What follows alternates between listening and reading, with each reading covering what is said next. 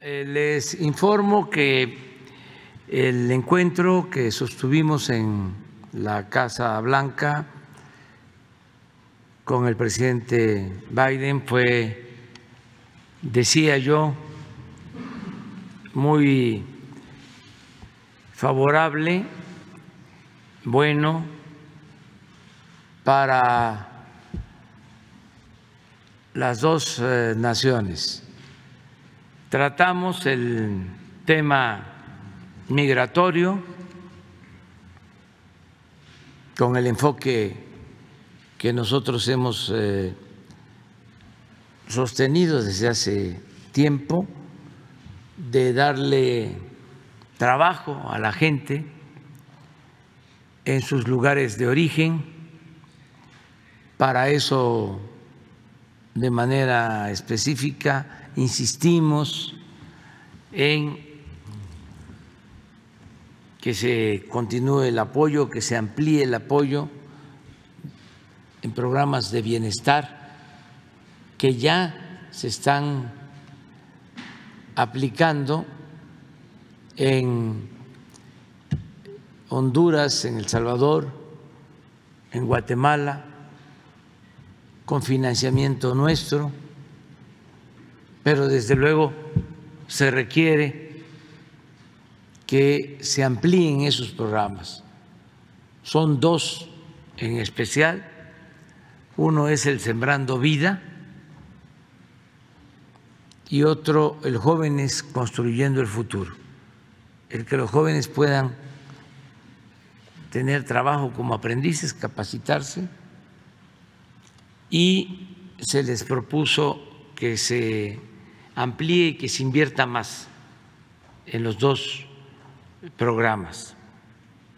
También eh, hablamos de la necesidad de ampliar el número de visas de trabajo temporal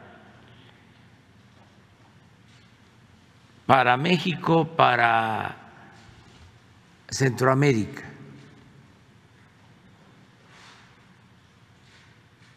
Esto se aceptó, se va a aumentar considerablemente el número de visas de trabajo para ingresar a Estados Unidos.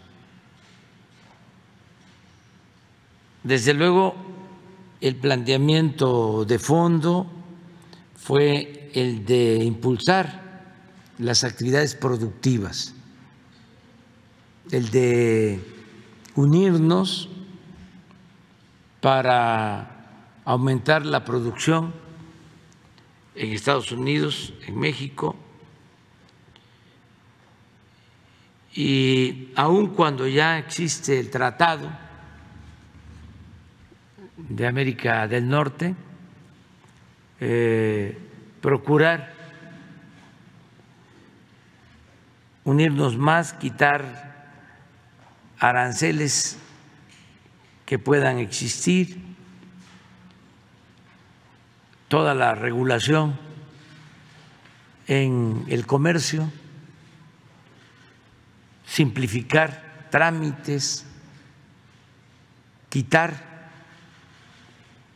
todos los trámites tediosos y unirnos más para producir y enfrentar el fenómeno migratorio.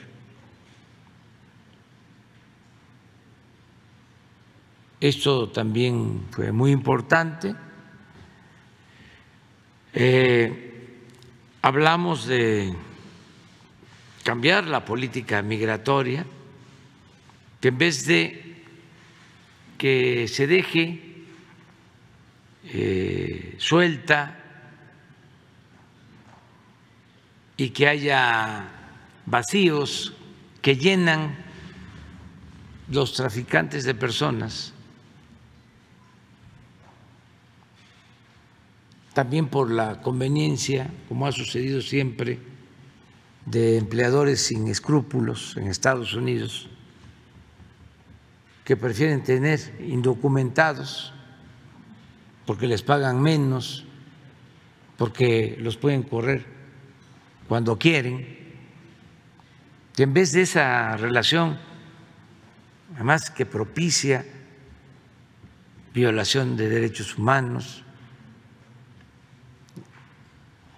accidentes graves, pérdidas de vidas humanas, que en vez de eso se ordene el flujo migratorio con visas temporales de trabajo, no solo para el campo, sino también para los servicios, para la industria.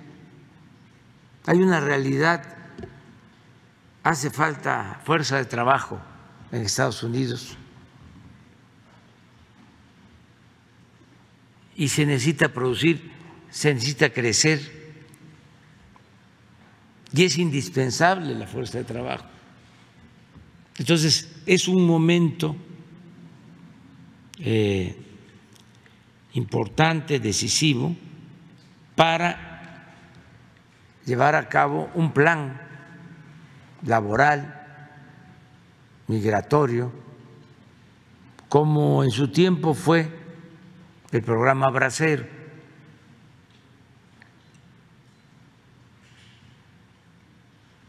son otros eh, tiempos, otras circunstancias, pero es lo que se necesita. Y eso lo propusimos y se va a analizar. Como ya dije, sí eh, hay el compromiso de aumentar el número de visas temporales de trabajo. También tratamos otros temas, la modernización de las aduanas en la zona fronteriza. Nosotros tenemos un programa de aduanas que se ha iniciado en Baja California, en Sonora,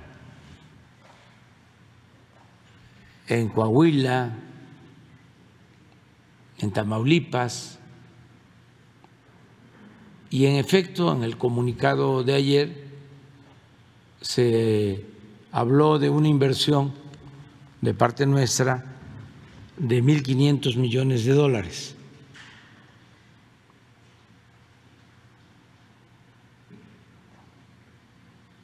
Algunos este, eh, expertos este, hablaron de que nos impusieron ese plan, cuando llevamos ya tiempo eh, proyectándolo y ya aplicándolo. ¿En qué consiste? Pues en mejorar las aduanas, que haya un mejor servicio,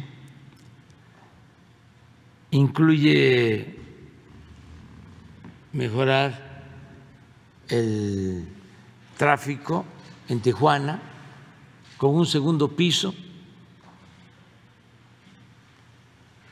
en toda la zona fronteriza. Ya lo dijimos aquí, fuimos allá, es un proyecto que lleva tiempo, es una inversión pues de más de 10 mil millones de pesos.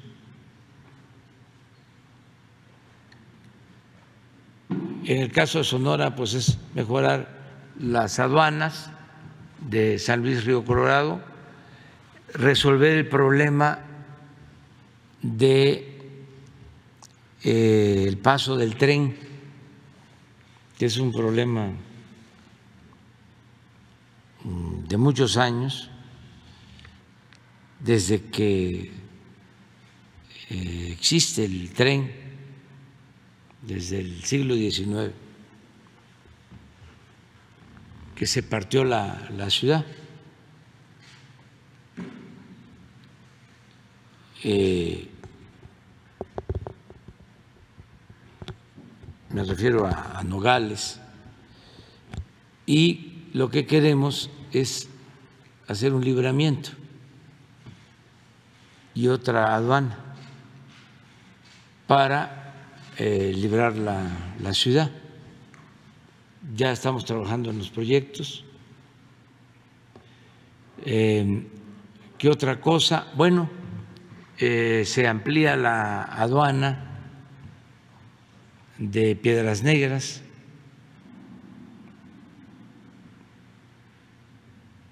en Coahuila y se construye la nueva aduana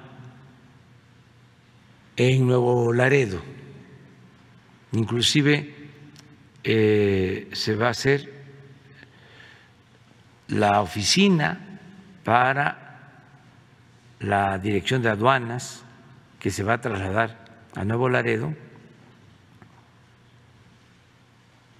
y lo mismo se va a contar con una instalación militar. También en otros cruces fronterizos de Tamaulipas, de modo que eso es lo que significan los 1.500 millones de, de dólares. Del lado de Estados Unidos también están haciendo lo mismo, modernizando sus aduanas.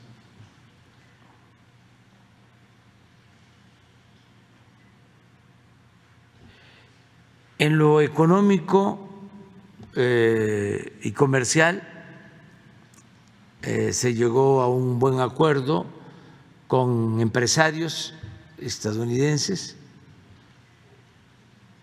que van a invertir hasta el 2024, desde ahora hasta el 24, alrededor de 40 mil millones de dólares. fundamentalmente en el sector energético. Son ductos, plantas de liquefacción,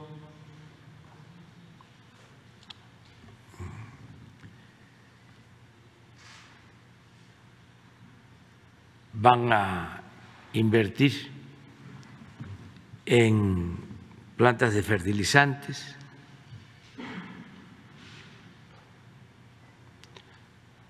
y también en extracción de crudo en sociedad con Pemex, de acuerdo a las concesiones que se otorgaron cuando la reforma energética. Si ustedes recuerdan, se entregaron en ese entonces 110 contratos y la mayoría no tiene inversión porque se argumentaba que no tenía precio el petróleo crudo, que no era negocio. Ahora que el petróleo crudo ha subido de precio, pues ya eh, es más atractivo para quienes tienen esas concesiones, esos contratos, invertir. Y hay campos yacimientos petroleros que eh, tienen mucho potencial. Hay un campo Sama que está eh, compartido con Pemex, que tiene capacidad para producir hasta 150 mil barriles diarios. y los que tenían la concesión no se animaban y ahora parece que van a invertir bajo las condiciones legales como la evaluación que se hizo reportó que Pemex tiene más crudo, la operación del campo va a corresponder a Pemex. Esto no significa que ellos no puedan también participar en la administración y se busca utilizar la infraestructura de Pemex y que se trabaje de manera asociada. Eso es en general. También hablamos de los precios de los combustibles con el presidente Biden. Nosotros estamos agradecidos porque se dio la autorización en su momento para que compráramos la refinería Deer Park de Texas. Cuando se compra una planta de estas en Estados Unidos, pues tiene que autorizarlo el Departamento de Estado, la Secretaría de Energía y de Comercio. Pero el presidente Biden dio la instrucción de que se autorizara. Y esto nos ayudó porque se compró esa refinería y ahora estamos produciendo petróleo, eh, diésel, ya se terminó de pagar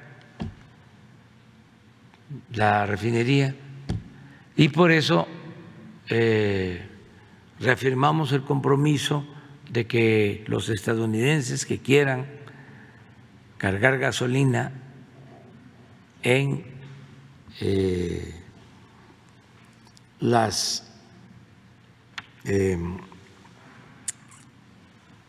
gasolineras de México que están en la frontera, en las ciudades fronterizas de México, lo pueden hacer, que no vamos a cerrar la frontera, y eh, pueden pagar menos porque la gasolina en nuestro país está más barata que en Estados Unidos.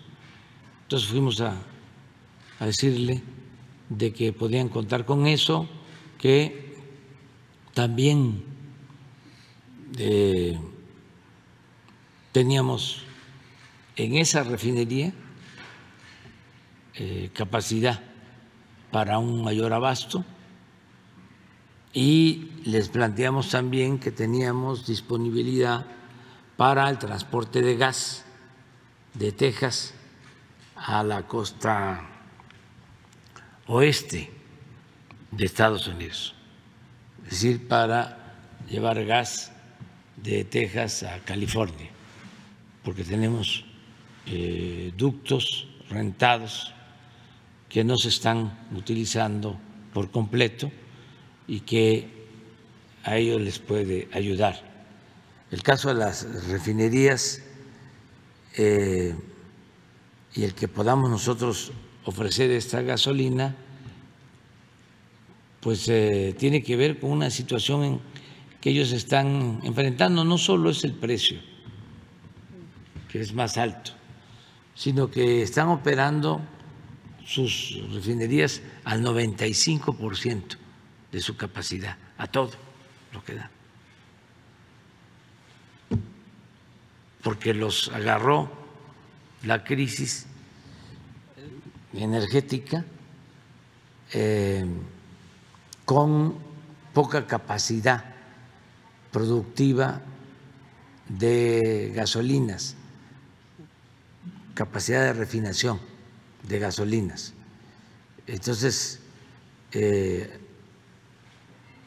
se está ofreciendo esto, decirles que ellos también nos están ayudando.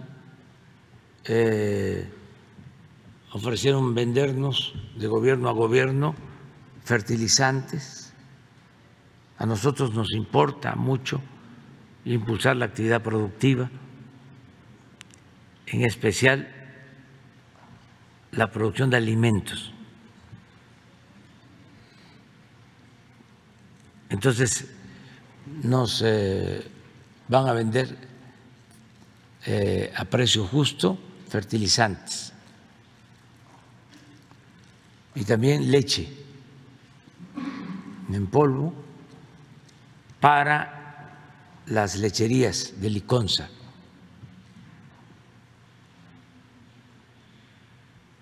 También a precios justos, cosa que agradecemos. Eh, en el caso de la inflación, pues eh, ya ustedes conocen eh, cómo el día de ayer, que se va a conocer el dato de inflación en Estados Unidos, aumentó la inflación a 9.1, nosotros tenemos 8 7.998 y ellos tienen en junio, igual que nosotros, 9.1 y eh, es muy notorio de que se les está incrementando la inflación en energéticos. Traían del componente total de inflación 2.6 en energéticos y ahora eh, en el dato de ayer ya son tres puntos lo que les aumenta. Y nosotros seguimos en 0.6 en energético por la política que estamos aplicando. Entonces, eh, muy buena la reunión, eh, hablamos de que se regularice la situación de nuestros paisanos migrantes, se lo planteé al presidente Biden, que había que darles tranquilidad, certidumbre, que llevan años trabajando de manera honrada en Estados Unidos. Y como fue un planteamiento atrevido, porque se está en víspera de elecciones y hay la mala costumbre de no tocar estos temas porque supuestamente afectan electoralmente a quien los propone. Yo sostengo que estos temas hay que tocarlos todo el tiempo, independientemente de las elecciones, y que además eh, es mejor enfrentar la realidad.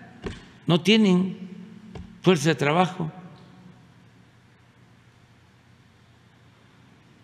y es eh, necesaria la regularización y es necesaria la entrega de visas temporales de trabajo, porque la inflación se detona, se desata por la pandemia y por la guerra en Ucrania, pero en el fondo es porque no hay producción suficiente en América del Norte. Entonces, se importa mucho.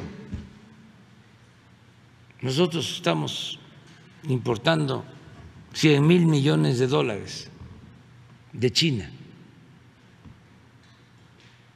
y Estados Unidos importa 500 mil millones de dólares de China. Y nada más piensen en lo que significa el incremento en fletes. ¿Por qué esa dependencia? ¿Por qué no producir lo que consumimos? en nuestros países. El planteamiento es, vamos a fortalecer la región, primero América del Norte, vamos a incluir los países de Centroamérica y luego toda América. La Unión de América, que es un continente con una gran potencialidad en lo económico, en lo tecnológico, en cuanto a fuerza de trabajo, joven, creativa y con un mercado eh, amplio que permitiría consumir todo lo que se produzca sin necesidad de depender de otras regiones del mundo. Eso es lo que hay que estar pensando hacia adelante. Y fue muy buena la plática con el presidente Biden. Estuvimos también antes con la vicepresidenta Kamala Harris, también muy afectuosa, eh, con mucho respeto hacia el pueblo de México. Me volvió a insistir que tiene un primo en México, tiene familias en México y en todos lados. Eh, mucho respeto hacia México y nuestros paisanos, bueno, ¿para qué les digo? Puro amor, puro amor. Estaban contentísimos, les agradezco mucho y repito lo que siempre decimos y ayer, antier, me lo estuvieron recordando, que amor con amor se paga. No eh, se organizó nada, todo fue espontáneo y desde que llegamos al aeropuerto Nada más que pues ya no puedo yo ahí acercarme mucho porque están las medidas de seguridad que se establecen. Eh, pero llegamos al hotel y ahí estaba, y música, y al día siguiente, desde muy temprano, también, y hasta ayer que salimos del hotel, la despedida. Antier, cuando fuimos a la Casa Blanca por la tarde, estuvimos en los monumentos al presidente Franklin Delano Roosevelt y eh, no presidente, dirigente social, destacadísimo, defensor de los derechos civiles, Martin Luther King, y también muchos paisanos. Ahí tuvimos que eh, decir unas palabras para homenajear al presidente Roosevelt, a Martin Luther King, mártir, un héroe de la lucha por los derechos civiles, por la no violencia, la lucha por la igualdad. Y muy bien, muy bien. Eh, nos sentimos eh, muy apoyados, muy respaldados por nuestros paisanos y todo esto pues obliga, nobleza obliga a que no dejemos de trabajar en beneficio de nuestro pueblo hasta el último día. Por favor los invito a suscribirte al mi canal de Emanuel Maldonado, compartir flecha hacia la derecha y activo la campana todas dale pulgar hacia arriba muchas gracias.